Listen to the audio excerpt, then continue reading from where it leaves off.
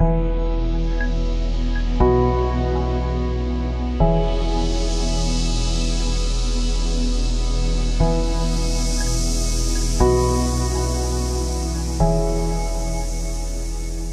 with Rijkswaterstaat we were doing a project about safety of the bike lanes. In general, safety on the roads, on the highway network is improving, so that's quite good, except for bike lanes. More accidents happen and we want to know why.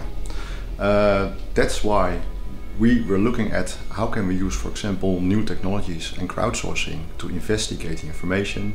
And we participated in a workshop together um, how to combine knowledge from the university, from the industry, with Rijkswaterstaat, looking at the opportunities to tackle this problem.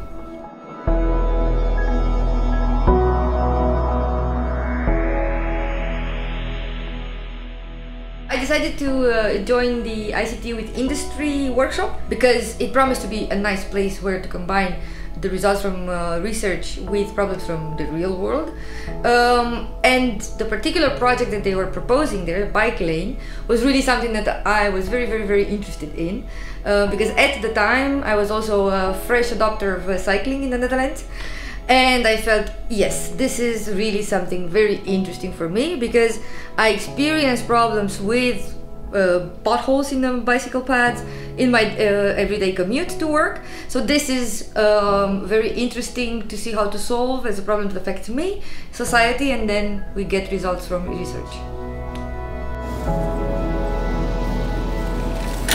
We decided that a phone is what we needed because a phone has a lot of uh, sensors that produce data that definitely would be usable. So for Rijkswaterstaat, safety is the most important issue. The biker has to focus on biking and they just need to put the phone in their pocket and collect the data.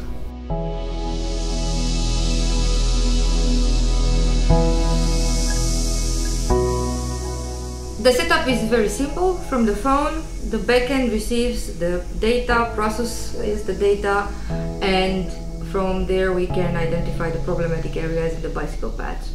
Uh, Rijkswaterstaat has the information about the bike lanes. Uh, from Esri we have a Geographic Information System, a GIS. So we take the bike lane, the risk location and the sensor data and we stick the needle through it to see if there's a correlation.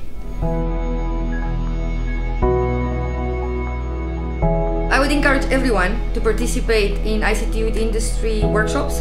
Uh, it provides great value at every stage in your career, academic career that is. Um, and in a way, it's like you'd go to camp over summer for five days with your best friends and you'd get to tinker around and do very cool things. So, what's not to love about that?